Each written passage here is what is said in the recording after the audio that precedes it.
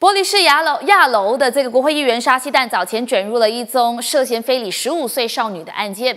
那虽然报案几个小时之后，这名少女呢就已经向警方销案了，而少女的父亲呢也声称这件事啊已经获得良好的解决。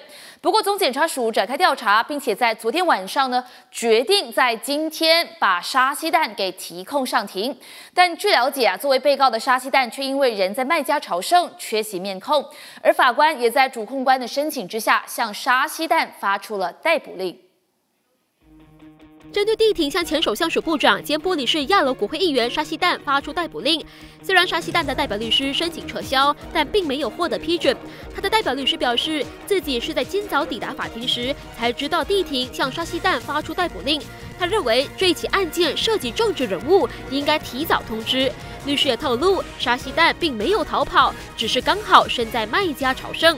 不管怎么样，法官已经责定这起案件将在下个星期一开庭，并谕令沙希旦必须出庭面控。